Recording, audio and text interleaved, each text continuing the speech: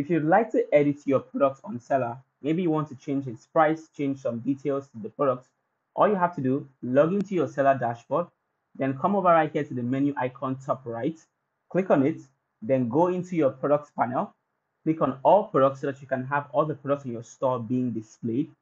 Locate the particular product that you want to edit, click on the three dots next to it.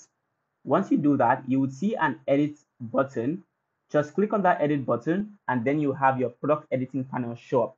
Now, right here, you can edit different information about your product. You can change its name, take out some images, update some images, okay, change the description. You can add a little bit more detail. You have all the flexibility to do what you want here. You can even update the price, okay, and go into your advanced settings panel to edit any other thing that you want to edit.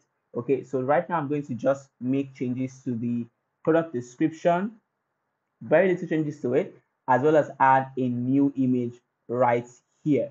Now, once you're done and satisfied with all the changes that you want to make, you simply scroll to the bottom and click on update product. Once you update your product successfully, you would have a success message saying, congratulations, your product has been updated. And that right there is how you update your product on Selar.